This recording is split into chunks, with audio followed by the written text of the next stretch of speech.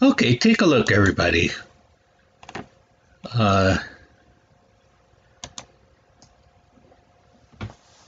that 49,000 power, he's what's going to kill Seymour.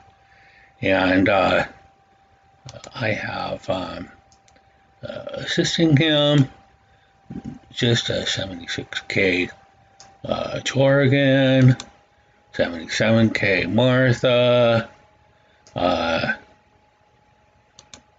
79k Sebastian, and uh, a 92k Astaroth. Now, uh, the secret here is not how you do it. Uh, the secret is the resilience of the heroes that I have.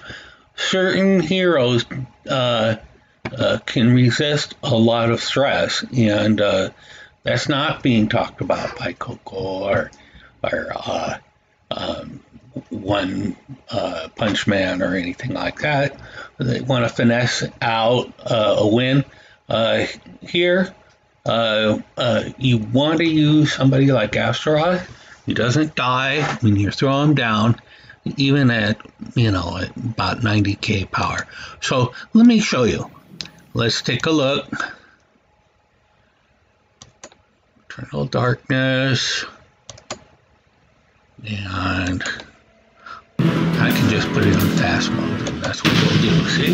Now, this is completely auto.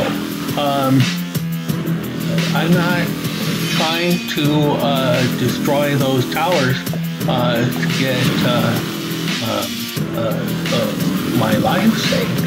I'm actually just going on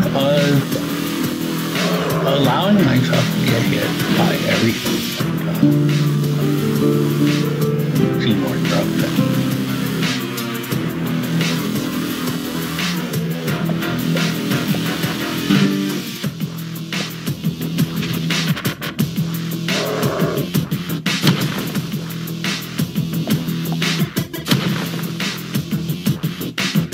knows uh, to just attack Seymour. That's what he does. He does not attack the tower.